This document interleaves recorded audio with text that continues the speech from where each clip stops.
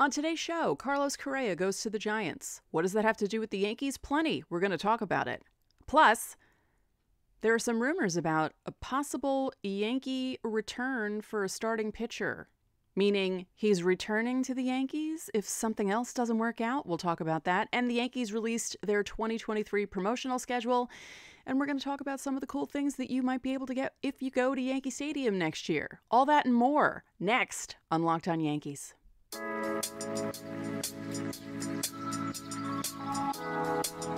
You are Locked On Yankees, your daily New York Yankees podcast.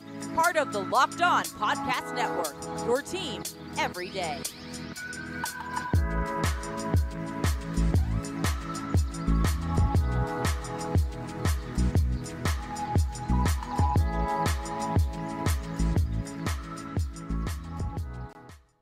Welcome, everyone. It is Wednesday, December 14th. I am your host, Stacey Gotsoulias. You are listening to and watching Locked On Yankees, which is part of the Locked On Podcast Network, your team every day. Thank you for joining me. I'd like to thank you for making Locked On Yankees your first listen every day. We're free and available on all platforms, including Apple, Audacy, Spotify, and Stitcher. You can watch and subscribe to us on YouTube. Also, hit the thumbs up button to like our videos and the bell so you're notified as soon as our videos go live. Two notes about YouTube. One, we're very close to 1,600 subscribers, so thank you for that. And if you aren't subscribed, please do so. And if you go to YouTube, you will notice that there is a preview for a live stream that will be happening tomorrow at 7 p.m. So please join me. You can chat and ask questions. And uh, yeah, could be fun. Maybe. So the news came out late last night, literally because I was sleeping and didn't find out till in the middle of the night that Carlos Correa was signed by the San Francisco Giants. So the San Francisco Giants got a big free agent signing. And it was a big signing, both in money and length. 13 years, $350 million.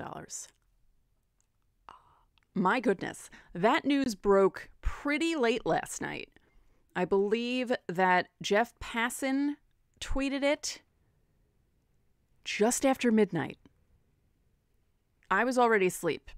And then I woke up at 2:30 in the morning for no apparent reason and uh, did what I normally do and checked Twitter and saw in the Locked On host group DM that they were all congratulating Ben from Locked On Giants. And I thought, ooh. And it was really funny because when I went into the Twitter timeline, it took me a while to see the length and the terms of the contract. All I kept seeing was that Correa was going to the Giants. I didn't see anything about years, didn't see anything about money.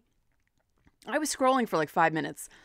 And I was also half awake and was being lazy and didn't even think of toggling over to Google and looking it up myself. I just figured it's got to be here on Twitter somewhere. And then I scrolled back far enough to see Passan's tweet and everyone else's subsequent tweets about it. And good for Carlos Correa. Really. I mean, 13 years, 350. You're set for life. He's about to turn 28 or just turned 28. And again, the same stuff that came up with Judge's contract, with Trea Turner's contract, with all the big contracts. Wow, the last three years of that deal aren't going to look good. The teams know this.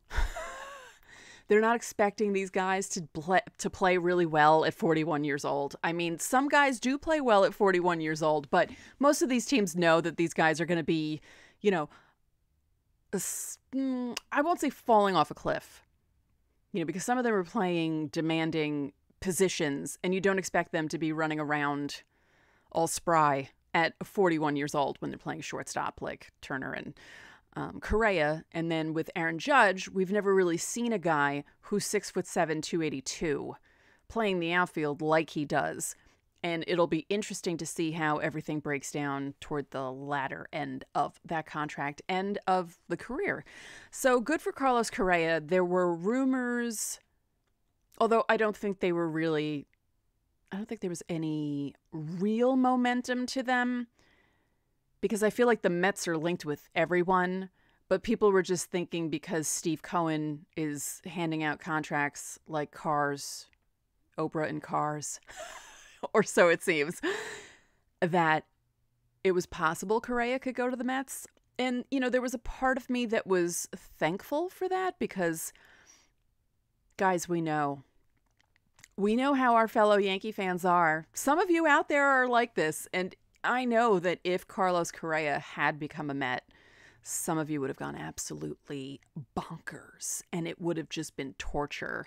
Um, so I'm glad that he went to the Giants. And Dodgers fans are already having fun with this because they already have the rivalry with the Giants. And now they have someone from the team that cheated against them in 2017, even though they claim not to. But whatever. we all know the truth. Come on, stop. So that's going to add another layer to the LA San Francisco rivalry in 2023. And that'll be fun to watch from a distance. Yeah. And adding to the LA San Francisco competition in the NL West, Noah Syndergaard signed a deal with the Dodgers. Not a big one. And I think he got less money than some of the sites were projecting. For the most part, any sites that were projecting totals for the free agents so far have been pretty close to what they've gotten. I think Chris Bassitt's deal with the Jays was pretty close to what I believe Fangraphs was predicting for him. So it's interesting to see all these contracts happening, especially the long ones. Like I mentioned, Correa, Trea Turner, Judge. I'm missing someone. I'm missing someone else who signed a big contract. And it's so funny because all this stuff happened within the last two weeks. And it feels like Judge signed three weeks ago. And it was only last week. It only just happened last week. But it feels like that was so long ago. It feels like the winter meetings were in November as opposed to December. Now, the thing about the Correa signing and how it relates to the Yankees, Jack Curry tweeted something earlier today that made me go off. And it's not because of Curry, it's because of the Yankees. He said he was talking about Correa signing with the Giants and how the Yankees held on to Volpe and Peraza and passed on, you know, the last two free agent shortstop classes because they passed up on Correa twice. And I I became enraged because I thought about what they did to Peraza toward the end of the season and during the playoffs. And I was going to quote tweet Jack Curry and say something to the effect of, yeah, and then they didn't play Peraza because reasons. These kids better be good. Volpe looks like he's gonna be good, you know? But as I've said in shows in the past when we were talking about how the Yankees have held on to these guys so tightly, like the prospect hugging thing that everyone used to joke about is happening with these two guys. And I really don't want Volpe to crack under the pressure that the Yankees are ultimately putting on him. But so far, so good you know, whenever he goes up to a new level, he does pretty well. So, you know, I think they're going to wait just to make sure that he's good enough to be in the majors. I know that Hal said that Peraza and Volpe will be at spring training and possibly competing to be on the big team. And as I've said about three times so far, that just because they signed IKF to that $6 million deal doesn't mean he's not going to be riding the bench if those two kids show up in spring training and are like, you know, we're better. Please play us. And maybe the Yankees will actually play them. That would be nice. That'd be really nice. So, in a moment, we're going to talk about a name that is attached to the Yankees who used to be a Yankee. And I don't know how to feel about this. So we're going to discuss it in a moment. But first, BetOnline is your number one source for sports betting info, stats, news, and analysis. Get the latest odds and trends for every professional and amateur league out there from football to basketball to soccer and esports. We've got it all at betonline.net. The Knicks are doing pretty well, surprisingly. The Rangers, eh, but they beat the Devils. They actually beat the Devils because I know the Devils were on that very long streak, so maybe the Rangers are turning things around for themselves. And yeah, the winter sports are going wild in New York. So go to Bet Online, see how all the lines are doing and what you can bet on. And they're the fastest and easiest way to get your betting fix. So head to the website today or use your mobile device to learn more. Bet Online, where the game starts. Thanks for making Locked On Yankees your first listen. For your next listen, check out the Locked On Sports Today podcast. The biggest stories of the day, plus instant reactions, big game recaps, and the take of the day. Available on the Audacy app, YouTube, or wherever you get your podcasts. So, the name that's attached to the Yankees that isn't Carlos Rodon because he's attached to the Yankees. There are tons of rumors going around that the Yankees are really interested in him. He's interested in going to the Yankees, but there might be a money holdup.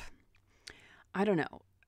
The idea of having Carlos Rodon in the rotation with Gerrit Cole, Nestor Cortes, Luis Severino, even Montas, just maybe if he comes back, maybe after a rest during the winter and he works his way back from that shoulder injury and maybe he does better than he did last year, that could be a pretty formidable rotation right there. I say the Yankees should go for it. Make this like the offseason between 08 and 09. Maybe not that much. The Mets are doing that by spending 400 million dollars.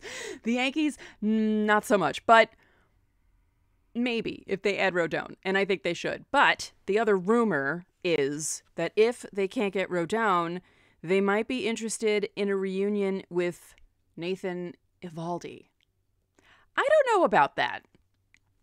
I I feel like been there, done that, and it almost feels like a Javi Vazquez. I know that's oh, I know for some Yankee fans that's a name that we don't want to hear ever again because the Yankees had two failed Javi Vazquez experiments, experiences, experiences.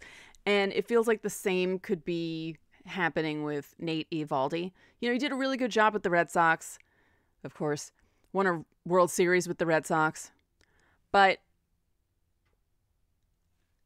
you got to go after Rodon, right?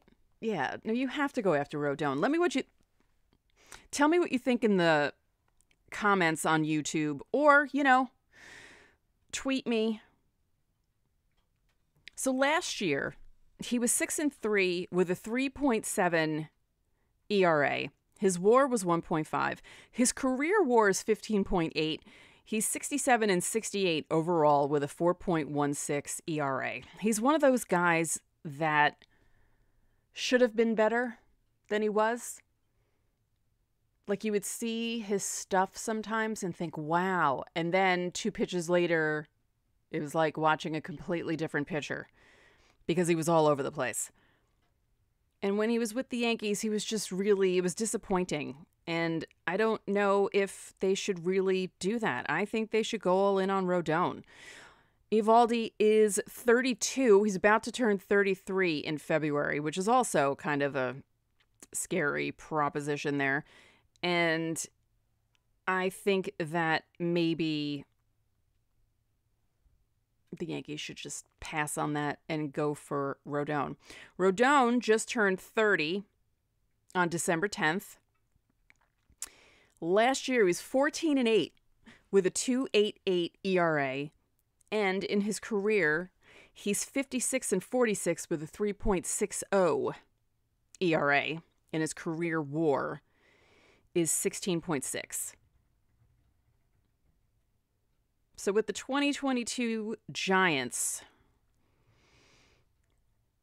Rodon had a pretty good year. And who was it? Someone put up Rodon when he was with the White Sox, dispatching some of the Yankees. Uh, Judge, I believe I was watching him strike out Judge a few times. And um, yeah, I would like him on this side of everything. You know what I mean? I would like for him to be on the Yankees side of the street and help the Yankees out. That would be great. And here we go. ERA of 288, 14 and 8 with the Giants, 178 innings pitched right on the nose. And let's see, gave up 12 home runs. That's 21 less than Gerrit Cole did.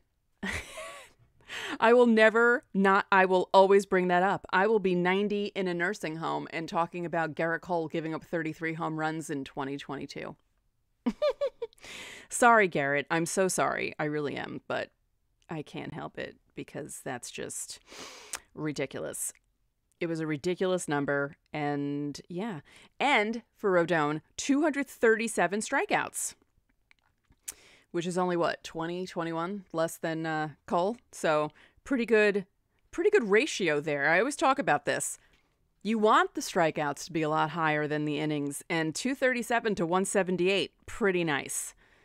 Pretty nice. So, yeah, Yankees, go after Rodon. Don't go after Eovaldi. No offense to Nathan Eovaldi, but again, Yankee fans do not want to repeat. And I know the Yankees like to do that sort of thing where they try and see if a guy can come back and maybe there's like a second chance, maybe he does better the second time around. And I think we've seen it too many times where it doesn't work out well the second time around. And yeah, go after Rodon. Just do it. Do it, Hal. You see what the Mets are doing. Just sign him. Don't worry about the luxury tax. Don't worry about any penalties. Just do it. So, in a moment, we're going to look at the Yankees' I almost said professional schedule, promotional schedule for 2023. There was a sneak peek. They sent it out via email. And we're going to talk about some of the dates because I'm questioning Old Timers Day because it's kind of odd. And I'll explain why in a moment. But first, so the Yankees' promotional schedule came out, or at least there's a sneak peek of it. And some of the days that are spotlighted in the email the first series of the year against the San Francisco Giants, and we talked about this before Judge signed, how this could have been a disaster if the Yankees didn't sign Judge. So thank God they did. And now it's the team that he didn't go to who is coming into town to play the Yankees to open the season. So April 1st and April 2nd. It's calendar weekend. You get a Yankees calendar for opening weekend because I believe opening day is Thursday, Friday's the off day in case it snows or rains or whatever happens, and then Saturday and Sunday you get the calendar. So yeah, um, I'm trying to remember opening days like what I've gotten in the past. I haven't been to opening day since 2011.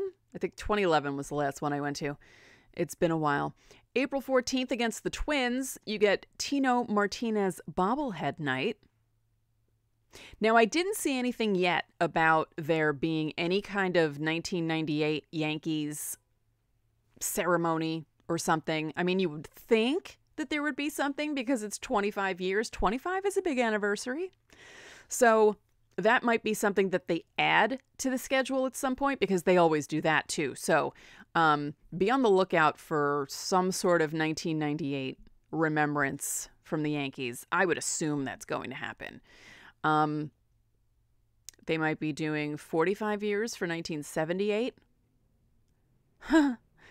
Yeah. Mm. So May 12th, Star Wars night, and it's an Anthony Rizzo Mandalorian bobblehead.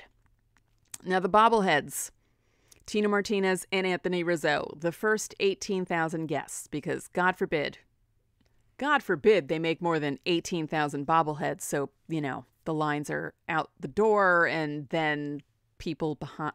It's why can't you make more bobbleheads? Why can't you make 20 to 25,000 bobbleheads. I I don't understand this at all. The, these promotional things drive me crazy. It's not like you don't have the money to do this. So, what is the deal? July 21st, Nestor Cortes bobblehead night. That's presented by T Mobile. So, I don't know if there's going to be pink on the bobblehead, but yeah, Nestor Cortes. And then, oh, yep, okay.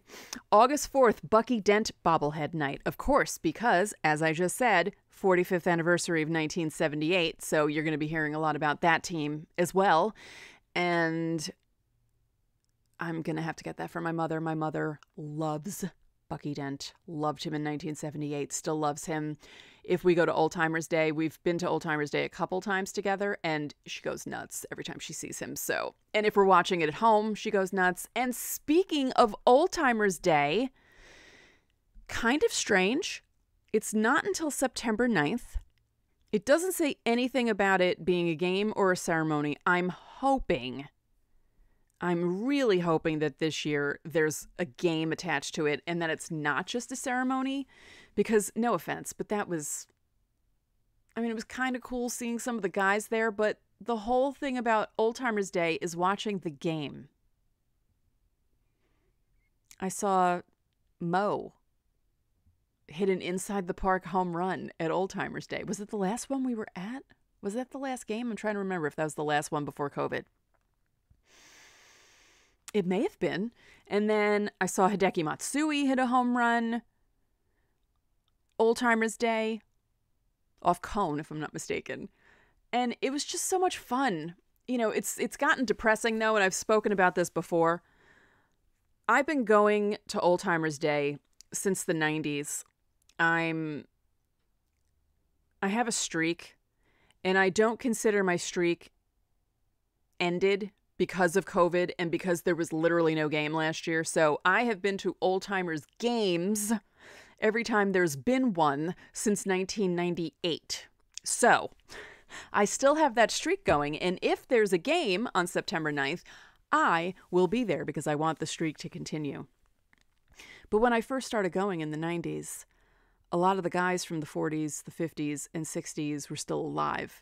And now nearly none of them are alive anymore. We lost Dr. Bobby Brown. He was one of the last links to, or he was the last link to the 47 team. And I always loved seeing him. His story is amazing. Becoming a cardiologist. I mean, you know, he fought in the Korean War. Like, there's so many things about Dr. Bobby Brown that were just amazing. And seeing him at Old Timers Day was just such a thrill. And you know, obviously Whitey and Yogi coming back. And I was there for Joe DiMaggio Day in 1999 when Yogi Berra finally came back to Yankee Stadium after all those years of fighting with Steinbrenner. And so many of those guys who are gone now. I remember being particularly upset about Skowron passing away. And I was there for Don Mattingly's first Old Timers Day. And it was a real trip seeing some of the guys that some of the other guys I watched. Like it was one thing to see Don Mattingly at Old Timers Day, but when guys like Johnny Damon started showing up for Old Timers Day, and you know Jason Giambi was at Old Timers Day recently, and it's like, oh man, all the 2000 guys are coming, 2000s, so 2000 to 2010, and soon we'll be seeing some of the uh, guys who were around in the late 2000s, early 2010s. You know, could see like Joba Chamberlain someday soon, or maybe Phil Hughes might come back. Ooh, just think about that. That would be really, that would be something.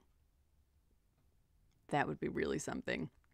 So, yeah, those are just some of the promotional days that the Yankees had a sneak peek of. But again, let me know in the comments if you agree with me about the bobbleheads because it drives me crazy when I have to go to Yankee Stadium and you have to make sure you get there early or else you won't get a bobblehead. But then you end up walking around and seeing people walking around with like four bobbleheads. And it's like, how did you get that many? You're only supposed to get one. So some people are sneaky about that. And because they're only giving away 18,000, it's also annoying because a lot of people who get the bobbleheads end up selling them on the internet. When people like me legitimately want bobbleheads, I have a whole collection of bobbleheads in my room, which you will see one day when I set things up in a better way. And uh, I will say, I have a Hideki Matsui bobblehead that looks absolutely nothing like Hideki Matsui. The Bernie Williams I have looks nothing like Bernie Williams. I have two different Jason Giambis. And they, well, you know, they kind of look like Jason Giambi, but not really. And the Jeter one isn't that great either. Actually, both Hideki Matsuis I have don't look like him. Unbelievable. But the Mattingly, I will say the Mattingly and the Joe Torre look like who they're supposed to look like. But man, the, the Matsuis are horrible. you know how the Hall of Fame plaques and the um, Monument Park plaques look horrible and, you know, don't look anything like the men they're supposed to be? That's basically what a bobblehead is. But it's nice to have them anyway, even though they don't look like the person. So yeah, Yankees, get on that. Make at least 20,000, bump it up to 22,000. You fit 40 what, 41, 42,000 people in that stadium? And you're making it so more than half of the people who go to games don't get bobbleheads? It's ridiculous. Before I go, a reminder about tomorrow, 7 p.m., live on YouTube. I will be discussing the baseball owners of New York, Steve Cohen and Hal Steinbrenner. Is Steve Cohen better? We're going to examine everything. It'll be fun. So please make sure to sign into YouTube and there's a button that says notify me, and YouTube will notify you when I go live and the chat will be activated and you can ask questions and make comments and I want you to do that so you will help me along as I do my live show because I did a live show when Judge signed and it was a lot of fun and you guys were really great and supportive and you wanted me to do more live shows so here I am. We're going to do one tomorrow at 7 p.m. So be on the lookout for that. And if you're listening on audio, I am going to put that up after we go live on YouTube. So, going live on YouTube from 7 to 7.30ish and hopefully the audio version will be up by 8 o'clock tomorrow night just to give you a heads up. So that's it for this episode of locked on yankees which is part of the locked on podcast network your team every day. Remember you can listen to us on every podcasting platform available. You can watch and subscribe to us on youtube. Again we're very close to 1600 so if you haven't subscribed yet please do so hit the thumbs up button comment, and click the bell so you know when our videos go up. And once again, thanks for making Locked On Yankees your first listen today. For your second listen, check out Locked On Sports Today. From the games that matter the most to the biggest stories in sports, go beyond the scoreboard and behind the scenes with local experts and insights only Locked On can provide. Locked On Sports Today, available on this app, YouTube, or wherever you get your podcasts. One more thing, if you could be so kind, please rate the podcast and spread the word about this podcast to your fellow Yankee fans. We would really appreciate it. So enjoy your Wednesday night, and I will talk to you live tomorrow. at 7 p.m.